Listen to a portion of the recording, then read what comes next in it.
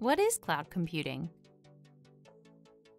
Just like when you shop for your own computer, cloud computing lets you choose the power and features you need to run your software.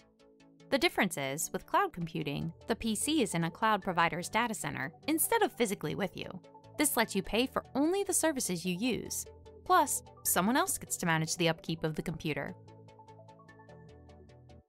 Each cloud provider will have their own selection of services to choose from, but the basic services provided by all cloud providers are compute power and storage. Compute power is how much processing your computer can do. For example, when buying a home computer, you may choose a computer with 8 gigabytes of RAM and the latest processor to run the software you need today. But as the load on the computer grows, you find that it slows down. With cloud computing, you can add and remove compute power as you need it.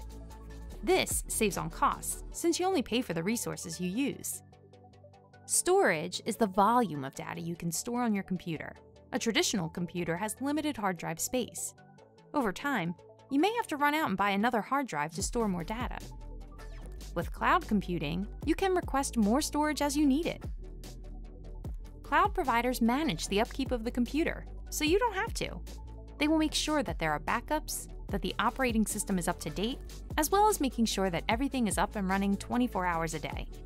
So as your business grows and your computing needs change, you can quickly bring on new computing resources in a cost-effective way.